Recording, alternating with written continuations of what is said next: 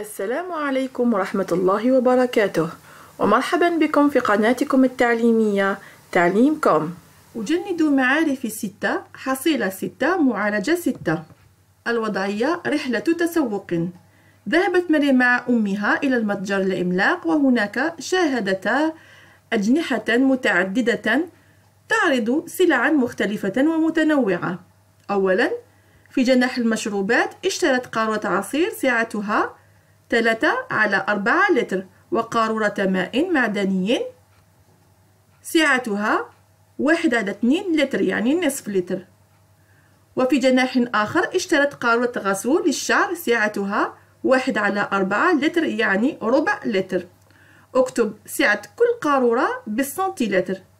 أول شيء واحد لتر يساوي مئة سنتيلتر.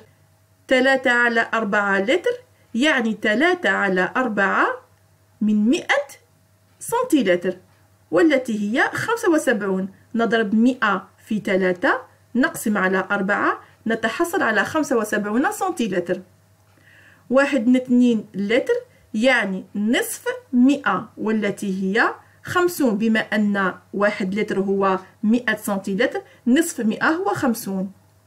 وهنا ربع لتر يعني ربع مئة والذي هو خمسة وعشرون سنتيلتر ثانيا خصصت الأم مبلغا قدره سبعمائة وخمسون دينار لشراء العجائن. اشترت بثلث هذا المبلغ الكسكسي اثنين على خمسة المبلغ عجائن أخرى عين بالدينار ثمن الكسكسي وثمن العجائن الأخرى. اكتب الكسر 2 على 5 على شكل عدد عشري. ما هو المبلغ المتبقي من المبلغ المخصص للعجائن؟ لاحظوا هنا. عين بالدينار ثمن الكسكسي. ثمن الكسكسي هو ثلث المبلغ يعني ثلث 750 يعني ماذا نفعل؟ نقسم 750 على 3 لنتحصل على الثلث وتساوي 250 دينارا. نعيد كتابة العملية أفقيا. ثمن الكسكسي هو 250 دينارا. أما ثمن العجائن الأخرى فهي تمثل 2 من 5 من المبلغ. يعني نضرب في 2 ونقسم على 5 ونتحصل على 300 كلما أعطي لي كسر بهذا الشكل نضرب في البسط ونقسم على المقام ونتحصل على النتيجة. إذا نكتب العملية أفقيا ثم نكتب الإجابة. ثمن العجائن الأخرى هو 300 دينار. جزائري السؤال التالي اكتب الكسر 2 على 5 على شكل عدد عشري نحول الكسر 2 على 5 إلى كسر عشري وذلك بضرب البسط والمقام في نفس العدد والذي يجعل من 5 عشرة.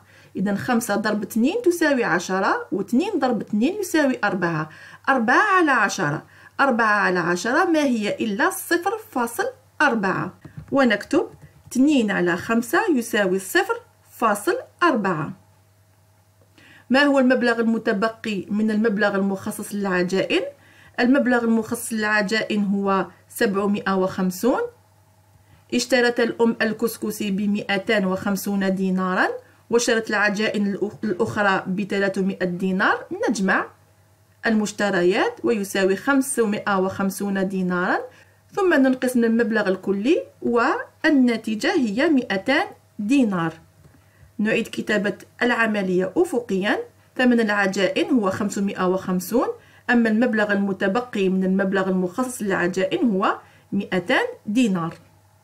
ثالثا في جناح اللعب اشترت مريم لعبة ب 690 دينارا وسيارة, وسيارة صغيرة لأخيها ثمنها يساوي 2 على 3 ثمن اللعبة يعني ثلثي ثمن اللعبة. اكتب ثمن السيارة بالدينار. لاحظت مريم أن بعض اللعب هي على شكل مجسمات تعرف أنت عليها وسمي كلا منها. إذا ثمن السيارة بالدينار ثمن السيارة هو ثلثي ثمن اللعبة ثمن اللعبة هو 690 إذا قلنا عندما يعطى لي كسر بهذا الشكل نضرب في البسط ونقسم على المقام. 690 في 2 قسمة 3 690 في 2 يساوي 1380 قسمة 3 يساوي 460 وهو ثمن السيارة بالدينار. أما شكل المجسمات للألعاب هي مكعب متوازي المستطيلات هرم مخروط أسطوانة كرة وهي موجودة هنا في الصورة. رابعا استغرقت زيارة مريم وأمها للمتجر مدة ساعة وأربعين دقيقة. حيث قضت خمس الوقت واحد على خمسة من الوقت في جناح المواد الغذائية ونصف الوقت واحد على اثنين من الوقت في جناح الأدوات المنزلية والأثاث أما ربع الوقت واحد على أربعة هو الربع ربع الوقت في جناح الألبسة وباقي الوقت في انتظار دورها أمام صندوق الدفع السؤال ما هي المدة التي قضتها مريم في المتجر؟ السؤال الثاني اكتب بالدقائق المدة, المدة التي قضتها مريم وأمها في كل جناح من الأجنحة التي زارتها نبدأ السؤال الأول ما هي المدة التي قضتها مريم في المتجر؟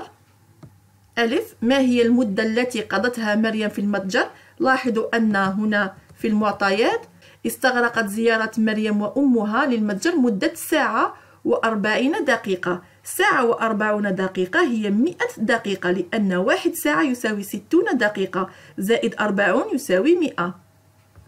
وهذا هو جواب السؤال ألف. السؤال باء اكتب بالدقائق المدة التي قضتها مريم وأمها في كل جناح. الجناح الأول هو جناح المواد الغذائية.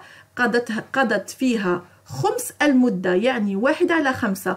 قلنا عندما يعطى لي كسر نضرب المدة أو نضرب القيمة المعطاة في البسط ونقسمها على المقام. يعني مئة قسمة خمسة يساوي عشرون. مئة في واحد يساوي مئة على خمسة يساوي عشرون دقيقة وهي المدة التي قضتها مريم وأمها في جناح المواد الغذائية. أما جناح الأدوات المنزلية والأثاث فقد قضت نصف الوقت واحد على اثنان نضرب في البسط ونقسم على المقام مئة في واحد يساوي مئة على اثنان يساوي خمسون. خمسون دقيقة هي المدة التي قضتها مريم وأمها في جناح الأدوات المنزلية. أما في جناح الألبسة فقد قضت ربع مدة يعني نضرب في واحد ونقسم على أربعة آسفة هنا نسيت أن أكتبها على آه، العملية أفقيا والإجابة. قضت ربع المدة يعني نضرب في واحد ونقسم على أربعة ونتحصل على خمسة وعشرون دقيقة. والمدة الكلية التي قضتها مريم وأمها في كل الأجنحة هي عشرون زائد خمسون زائد خمسة وعشرون. جناح المواد الغذائية جناح الأدوات المنزلية والأثاث جناح الألبسة يساوي خمسة وتسعون دقيقة. الآن نعلم أن المدة الكلية التي قضتها مريم وأمها في المتجر هي 100 دقيقة. 95 منها قضتها في الأجنحة. أما باقي الوقت فقد قضتها مريم وأمها في انتظار دورهما أمام صندوق الدفع. ماذا نفعل؟ المدة الكلية. ناقص المدة التي قضتها مريم وأمها في الأجنحة. يساوي مدة انتظارهما أمام صندوق الدفع. يعني 100 ناقص 95 يساوي 5 قضت مريم وأمها خمس دقائق في انتظار دورهما أمام صندوق الدفع. وأخيرا لا تنسوا الإعجاب بالفيديو ولكي يصلكم الجديد لا تنسوا الضغط على الاشتراك وزر الجرس. والسلام عليكم ورحمة الله وبركاته.